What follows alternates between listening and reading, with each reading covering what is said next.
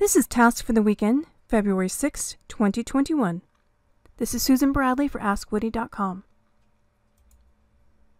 Well, on the weekend that I'm also pruning my roses and getting ready for spring, I'm also going to check to make sure that I'm ready to defer quality updates, or what you and I call security updates, or better known as Patch Tuesday, Dead Body Wednesday, you know what I mean.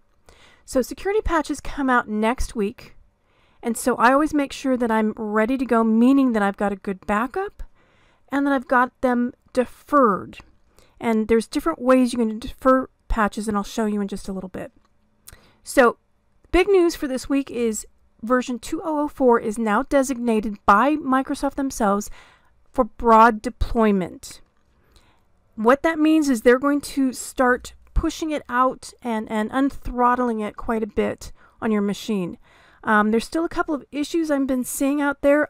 We still see people who have Conexant audio drivers still stuck. The workaround currently is you, the official one from Microsoft is you let the, the 2004 install. It will fail, it will roll back, and you'll try again. Or what you can do proactively is go into Device Manager and move those Conexant uh, audio drivers.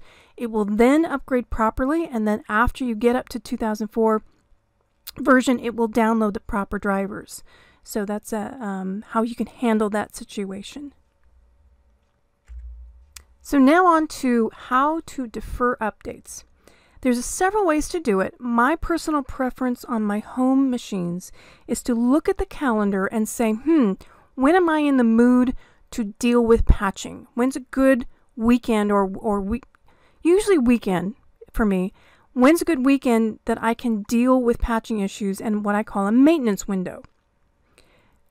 And it's when I want to reboot my computer when I also want to make sure it's backed up and when I want to deal with issues. At the office I also have this process where I push it off and it's not done the week of updates and I have a maintenance window Generally speaking, it's wise to wait at least a week. Usually I'm saying like about 15 days. So what's what goes on is issues start to bubble up after Patch Tuesday. Usually it takes about till Thursday or Friday before people start reporting issues. Also, enterprises start testing during the week, and normally they do a maintenance schedule again closer to the end of the week.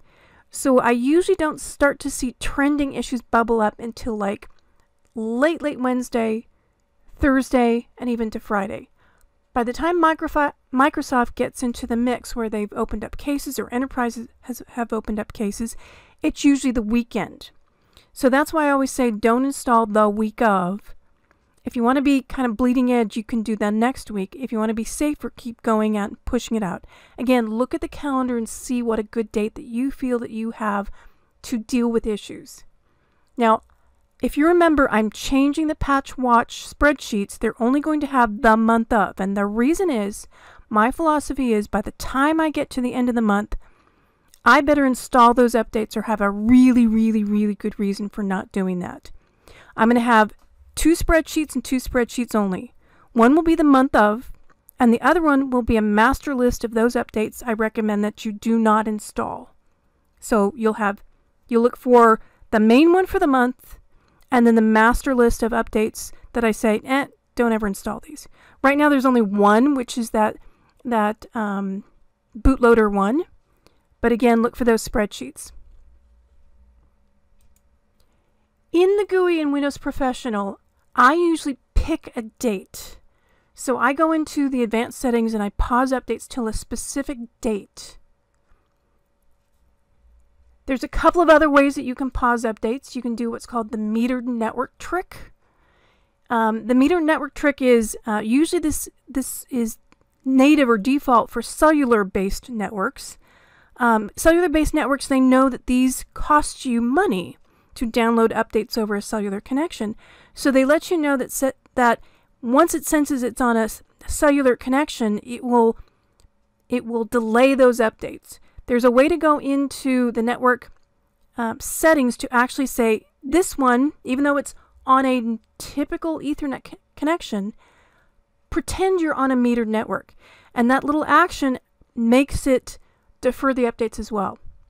Now, many of you I know use the, the process where you click on the button to say pause updates. And then when you're ready to go to updates, you click on the button to unpause them.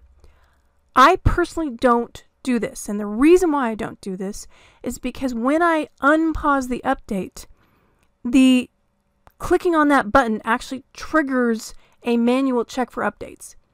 And that triggers installs. So if there's any additional updates you don't want at that time, let's say, for example, you don't want to have a preview update, that checking for updates will trigger anything that's out there ready to go. So that's one of the reasons why I don't recommend pausing updates. I recommend a date choosing because then that lets down only the security updates and it doesn't trigger those preview updates. So now let's do, the first thing we're going to do is the, what I call the metered network trick. And first off, let's find our little network icon down here.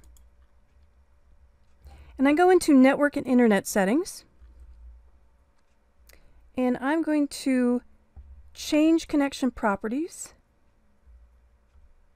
And see down here, even though this is on a Ethernet, not on a cellular, I can say, hey, pretend you're on a metered connection.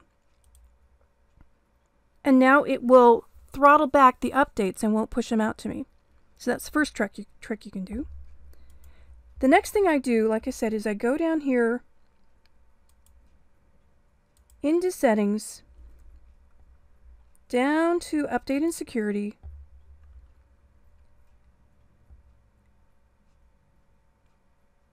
go down to advanced options.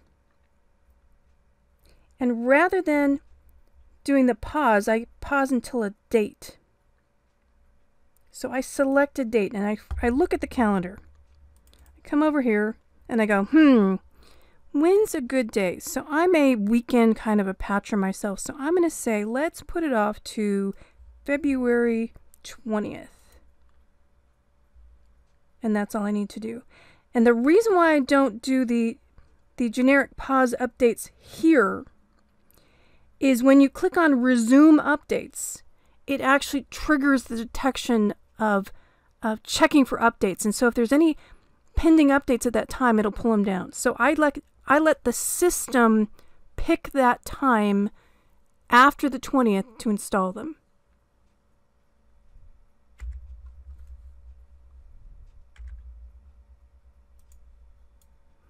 As always, if you have any questions at all, please feel free to post down on AskWoody.com.